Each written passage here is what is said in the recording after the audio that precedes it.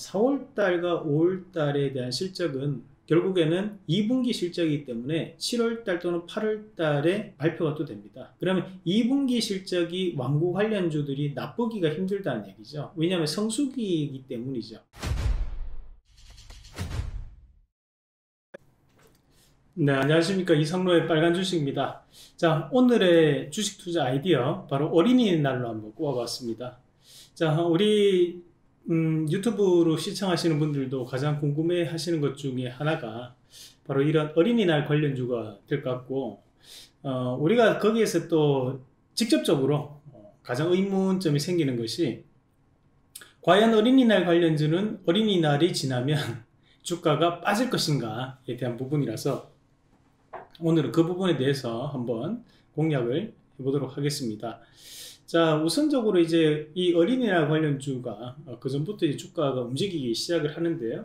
어, 실질적으로 우리가 이제 구매에 대한 비중을 같이 한번 보시더라도 어, 우리가 이제 어린이날에 대한 부분에서 구매가 증가하는 것이 약 보름 전부터 구매는 꾸준하게 이제 증가를 해옵니다. 그래서 미리 이제 선물을 좀 준비하시는 분들이 많으시다고 좀 봐야 될 것 같아요. 그래서 한 4월 중순 정도부터 시작을 해서 구매에 대한 부분 자체 트렌드가 증가를 하기 시작하고 어, 그리고 한 일주일, 한 2주 정도 남겼을 때 그때 구매가 이제 급증을 하기 시작하죠. 그 다음에 이제 구매에 대한 최대치가 어린이날을 앞두고 어, 그, 뭐, 하루 이틀 정도 그 사이에 가장 많은 구매에 대한 최대치가 형성되고 난 다음부터 다시 한 번 더 구매는 어, 빠지게 됩니다. 그래서 실질적으로 이제 어린이날 같은 경우에는 구매가 많이 이루어지는 것은 아닙니다. 대신에 이미 어느 정도는 구매가 나타난다는 거죠. 그러니까 요즘은 우리가 여러 가지 분야로 우리가 한번 생각을 해볼 수가 있는데 특히 5월 달에 이제 가정의 달입니다. 어린이날 다음에 또다시 어버이날도 있고 스승의 날도 있고 사실 가장들의 주머니가 가장 홀쭉해질 수 있는 시기가 바로 이런 5월 달인데요. 5월 달 같은 경우에 우리가 어, 소비도 그만큼 급격하게 늘어나는 것이 또 5월 달입니다. 우리가 또 다른 한편에 온라인 시장도 그만큼 커질 수밖에 없다는 부분으로 해석을 하셔야 되고 실질적으로 어린이날 관련된 어, 왕구라든지 어, 또는 선물들 같은 경우에도 인터넷에서는 어, 미리 품절되는 사태도 많을 때가 있거든요. 그 정도로 미리 이제 현재는 구매를 하고 주가도 미리 선반영되는 것이 상당히 많다라는 부분 자체를 우리가 미리 좀 알고 계실 필요가 있고요.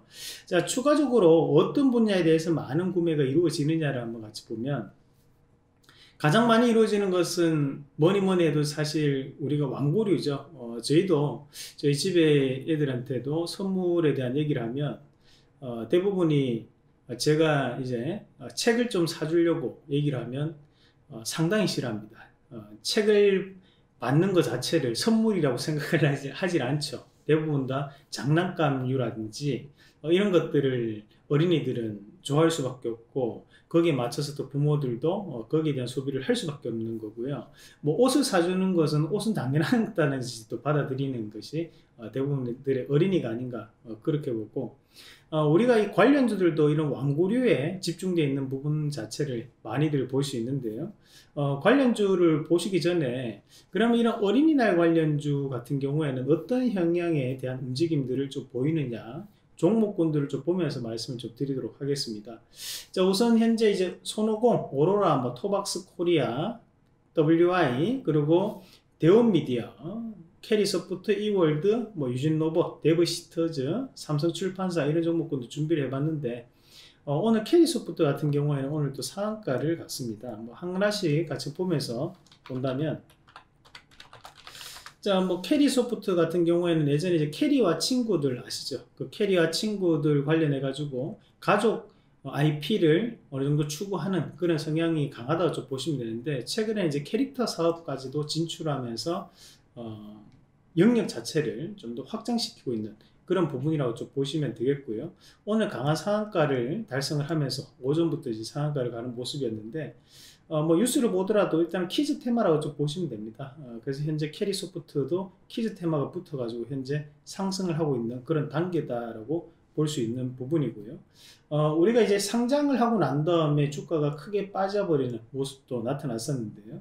어, 이런 종목군들 같은 경우에는 원형 항아리 패턴이라고 합니다. 어, 그래서 상장한 가격대까지 다시 한 번 더 반등을 좀 더 붙일 수 있는 그런 부분이 형성될 수 있다. 대신 만 원대는 심리적인 저항 구간, 우리가 막 round figure 가격이라고 하거든요. 그런 가격대이기 때문에 일시적인 부분에서에 대한 저항도 어, 존재를 한다. 그래서 물량 소화 후에 다시 한번 넘어갈 수 있는 N자형 파동이 나타날 가능성이 좀 높아 보입니다. 뭐 손오공 같은 경우에도 현재 이미 주가가 어느 정도는 좀 선반영되어 있는 그런 움직임들을 좀 나타내고 있고, 어, 뭐 지금 현재 보면 오로라 또 이미 주가가 바닥권역부터 조금씩 움직이기 시작했죠. 그래서 조금 돌아섰는 그런 모습들도 나오고 있습니다. 자, 그리고 토박스 코리아도 보실 텐데요. 자, 토박스 코리아 같은 경우에는 우리가 유아 브랜드 용품들을 모아가지고 판매하는 편집샵에 대한 역할을 한다고 생각하시면 돼요. 그래서 백화점에 이 토박스에 대한 부분이 있던데, 어, 그런 부분에서 지금 현재 반등이 좀 나타나고 있는 과정이라고 좀 볼 수 있고요. 어, 그리고 이제 이월드 같은 경우에는 어린이날 행사를 또 한다라는 부분으로 오늘 함께 이슈가 되는 부분인데, 어, 이월드 같은 경우에는 대구에 이제 이 타워가 있습니다. 어, 그래서 거기에 따른 부분에서 어, 우리가 옛날에 뭐 대구 타워라고 했었는데요. 어, 이슈가 되는 부분, 뭐 당연히 이제 어린이날 행사 같은 걸 하면 또 그날 또 입장객들이 많이 늘어나겠죠. 그런 부분이 주가에 반영되고 있다고 보면 되고 이월드는 사실 이제 정치 테마주로 좀더 이슈가 되는 종목군입니다. 그래서 그 부분도 복합적으로 한번 같이 보자라는 말씀도 드리겠고요.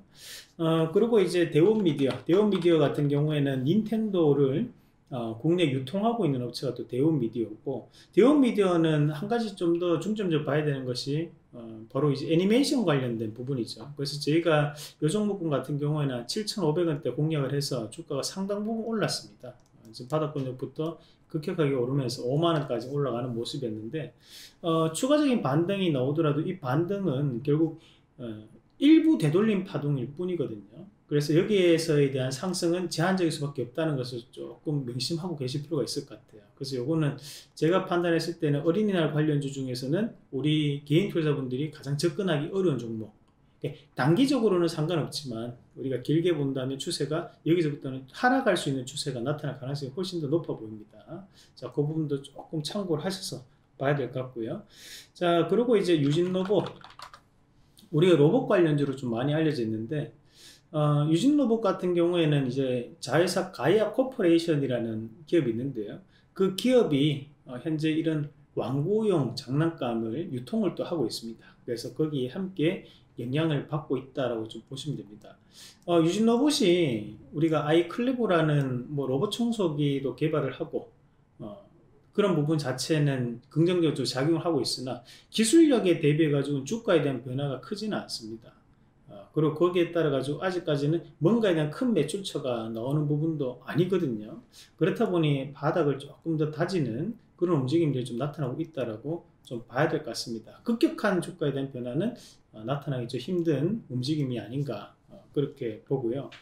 어, 우리가 이제 삼성 출판사를 빼놓을 수가 없죠. 어, 사실 삼성 출판사 같은 경우에는 핑크퐁이라든지 어, 우리가 이제 상하가족 어, 시리즈로 상당한 인기를 이제 끌면서 지금 현재도 오늘도 이제 다시 한 번 더 상승을 좀 붙이고 있는데 자 이런 것들이 이제 되돌림 파동이 강하게 올라올 수 있죠. 앞서 있던 이런 5만 9천 원 자리까지도 충분히 이제 반등이 가능해 보이는 그런 부분이라고 좀 봐야 될 것 같고 아, 단기적 저항이 이제 5만 2천 원대 잡혀있기 때문에 5만 2천 원에 대한 공방이 나타날 가능성이 좀 있어 보입니다. 아, 그리고 지금 이 삼성 출판사 같은 경우에는 아, 그런 지적재산권을 일단 보유하고 있다와 없다는 저는 큰 차이가 난다 고 보거든요. 특히 연속적인 상승을 붙이기 위해서는 반드시 뭔가에 대한 특화되어 있는 분야가 저는 있다고 봐요. 그런 분야들이 바로 지적재산권이 될 수 있고, 그럼 우리가 삼성 출판사 같은 경우에도 지적재산권을 보유하고 있는 기업이기 때문에 그에 따른 부분에서 어, 계속적인 뭔가에 대한 이 플랫폼을 기준으로 사업 영역을 확장시킬 수 있거든요. 출판도 할 수 있고 애니메이션도 제작할 수 있고 뭔가가 계속적으로 나올 수 있다는 거죠. 그런 부분은 우리가 긍정적으로 좀 볼 필요가 있지 않나 그렇게 보고 어, 요 삼국 출판사도 어, 기대해 볼 수 있는 신고가를 좀 더 연속적으로 갈 수 있는 그런 움직임들이 나올 수 있다라고 판단합니다. 그리고 이제 WI 같은 경우에는 이제 팽수 관련된 어, 상품을 판매하는 것으로 알려져 있는데요.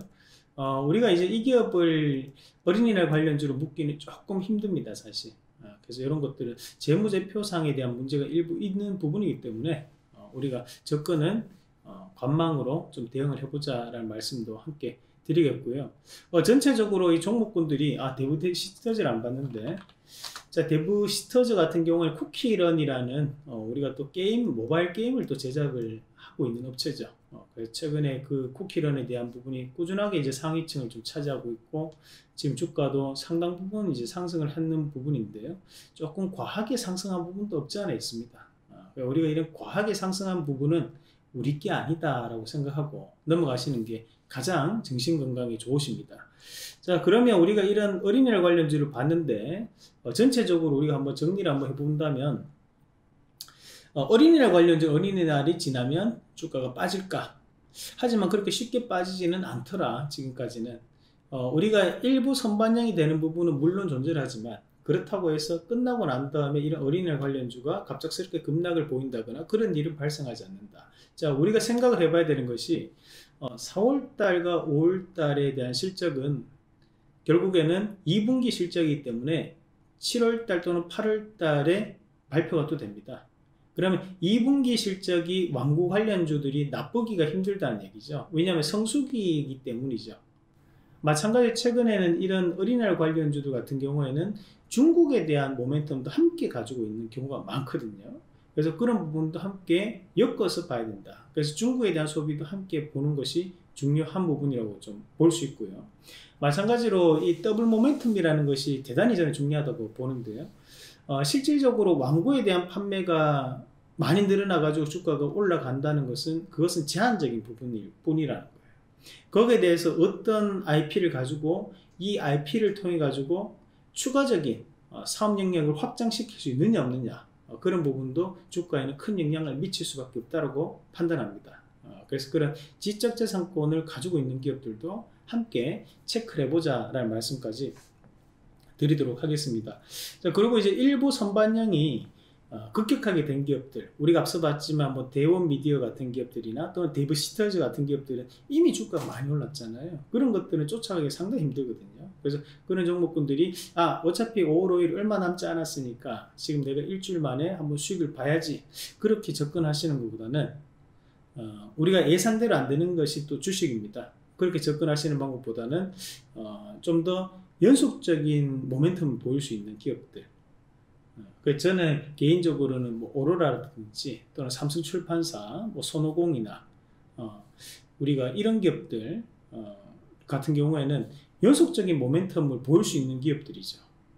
어, 왜냐하면 지적재산권을 보유하고 있는 기업들이기 때문에 현재에 대한 컨텐츠에 대한 재생산이 가능하다고 저는 보거든요. 어, 그런 부분을 좀 더 부각받을 수 있는 기업들이 좀 더 주가에 대한 부분에서 장기적 성장성이 좀 더 낫지 않을까 그런 말씀까지 함께 어, 드리고 싶습니다. 어, 그래서 오늘 어린이날 관련주를 한번 같이 알아보셨는데요. 어, 결론은 여러분들이 생각하는 것처럼 어린이날이 지난다고 해서 어린이날 관련주가 쉽게 빠지지는 않는다. 어, 그리고 그에 따른 실적은 우리가 7월달, 8월달에 발표가 되니까 실적적인 성장성까지 함께 이어갈 수 있다는 것. 그리고 더블 모멘텀을 가진 기업들을 좀 더 눈여겨보자. 그리고 미리 많이 오른 기업은 어, 조심할 필요가 있다. 이렇게 정리를 하도록 하겠습니다. 자, 그럼 오늘 영상은 여기까지 말씀드리고요. 영상이 도움이 되셨다면 자, 좋아요, 구독하기 반드시 해주시길 바라겠습니다. 다음 또 좋은 영상으로 찾아뵙겠습니다.